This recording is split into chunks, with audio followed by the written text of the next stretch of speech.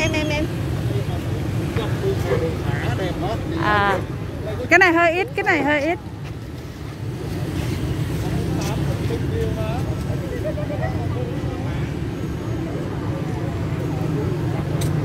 hoa đăng tưởng niệm à, những nạn nhân bị covid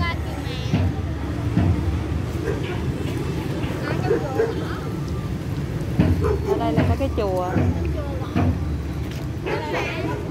người ta cầu nguyện cho những người đã mất á, được à, đi siêu thoát cơ Ủa xong này nó kéo ra đâu vậy mẹ? Rồi cái này nó đi đâu mẹ? chạy dọc này lên quận nhất luôn Rồi sau đó gì? Rồi sau đó gì mẹ? À nó chạy chạy mãi luôn con, chạy ra con sông à, sông Sài Gòn luôn.